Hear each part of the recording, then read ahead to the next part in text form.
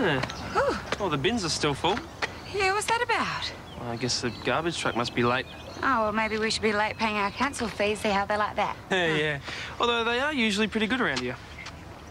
Oh, yeah. Uh, anyway, I should keep moving, so, um, bye. Just what you want to wake up to in the morning, hey? Yeah, gets any worse. Bossy and her friends are going to have a field day. I was talking about me. Very cute. Hey, you're not going alone, are you? Yeah, well, wouldn't I? It's daytime. Or the boogeyman they're at home at bed. It's not the boogeyman that I'm worried about. Wait there, I'm going to go put my running gear on.